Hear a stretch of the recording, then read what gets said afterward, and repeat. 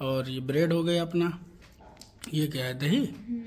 ये दही है और अब्बा अब्बा अब्बा अब्बा अब्बा अब्बा। क्यों डैमेज कर रहे भाई?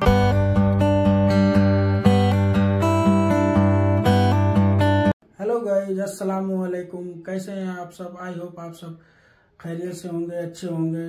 मैं बिल्कुल अच्छा हूँ, नहा धो के रेडी हो चुका हूँ। और फिर से एक नया दिन, एक नए ब्लॉग की शुरुआत हो चुकी है तो आज आप लोग ब्लॉग के साथ बने रहिए।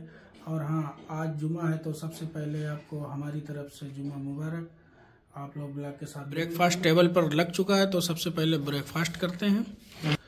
सामने आप देख सकते हैं, एक की हाफ़ फ्राई है, बगल में मटर पुलाव है, सामने वो मिर्च रखी है, और ये दलिया है, ये ओट्स की दलिया है, और ये ब्रेड हो गया अपना। ये क्या है, दही? ये दही है और एक बीच में खाली कटोरी भी रखी है। तो चलिए फिर ब्रेकफास्ट कर लेते हैं, मिलते और ये पीनट बटर भी रखा हुआ है। गाइज़ नमाज़ हो गई है कंप्लीट हम आ चुके हैं नमाज़ पढ़ के।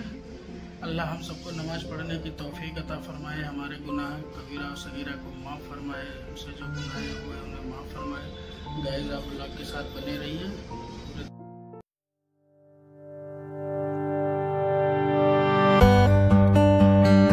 देखिए गाइस ये मेरी ग्रीन टी बन रही है। आपको तो पता है कि डिलीवरी के बाद वेट कितना ज़्यादा बढ़ जाता है, क्योंकि उतनी केयर हो नहीं पाती है खुद की, जितनी करनी चाहिए, क्योंकि बेबी छोटा रहता है, वैसे भी इतना काम रहता है घर पे, फिर अभी और इसलिए मेरा वेट बहुत ज़्यादा बढ़ने लगा था तो आजकल मेरी डाइटिंग चल रही है तो अभी हो रहा है टाइम बारह बज गया है, अभी हमें पीना है ग्रीन टी उसके बाद दो बजे मैं करूँगी लंच